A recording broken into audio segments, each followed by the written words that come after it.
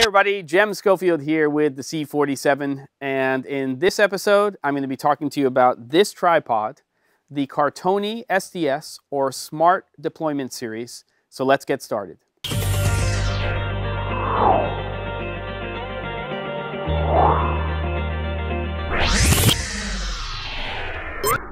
All right, so I have been wanting to talk about this tripod for quite some time, but before I did that, I wanted to make sure I took it out into the world and really put it onto real world productions. So I was fortunate enough for a couple of months to have the aluminum version of this and also the carbon fiber version of it. And I have to say that for a mid-level spreader type tripod for me, this SDS system really adds some features that make it a lot easier to use in production. It speeds production along. So let's go ahead and jump into the actual tripod itself. So what we have here is the smart stop lever and there's three of them on each tripod and you just release them here and then we can increase the height but we can do it two stages with just that one release and then we can lock it into place very easily and just get that to where we want it to be. And so it's very, very, very fast to deploy that. It also allows you to make adjustments on individual legs. So if you are in uneven terrain, it's very quick and easy to make that adjustment and then just lock it into place. So that makes, well, that makes for fast production.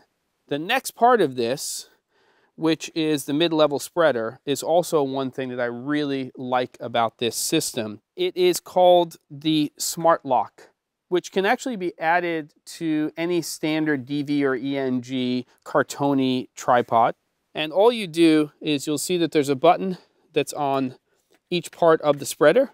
You just press that button in and then you can increase or decrease that spreader. And you can see that we get really quite low to the ground here for something that has a mid-level spreader. So that's really, really nice. And mid-level spreaders are fantastic because they create a more rigid tripod system. So you're getting a lot of the benefit here of adjustability that you would get with a spreadless tripod, but we can have that rigidity that you get out of a mid-level spreader.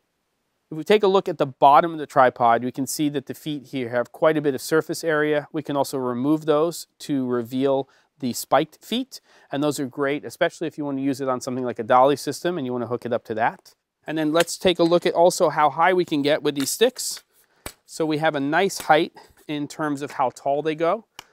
I need a full apple box, obviously, if I'm going to be operating in this type of situation. Additionally, we have this ring right here, and what that allows you to do is it allows you to close the tripod very quickly. So I can just pull that up, and whether or not I've actually collapsed this all the way or I'm just trying to get to another location, it does give you a quick way to actually close that when you are using the system. For me, first and foremost, it's about reliability, and then if it can save me and my crew time, then it's something that I'm interested in. Thanks for watching.